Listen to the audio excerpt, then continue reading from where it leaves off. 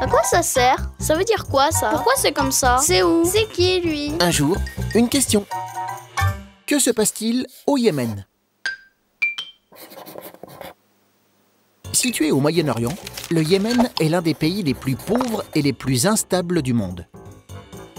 En 50 ans, il a subi plusieurs guerres, opposant à la fois des mouvements politiques et religieux. Depuis le début des années 2000, une partie du pays est contrôlée par un mouvement rebelle, les Houthis. Ils font partie de la communauté des chiites, qui forment l'une des deux grandes branches de l'islam. Le gouvernement et la majorité de la population font partie des sunnites, l'autre grande branche de la religion islamique.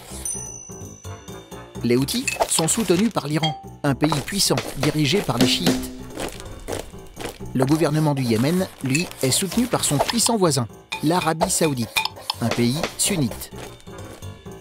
Au début de l'année, les combattants Houthis se sont emparés de la capitale, forçant le président à s'enfuir chez son allié, l'Arabie saoudite. Les dirigeants de l'Arabie saoudite craignent que le Yémen devienne un État chiite, contrôlé par leur ennemi, l'Iran. Cela pourrait aussi menacer leur place de leader dans le monde arabe. L'Arabie saoudite a donc pris la tête d'un groupe de pays arabes pour lancer une opération militaire au Yémen. Ils ont ainsi bombardé les zones occupées par les rebelles houthis.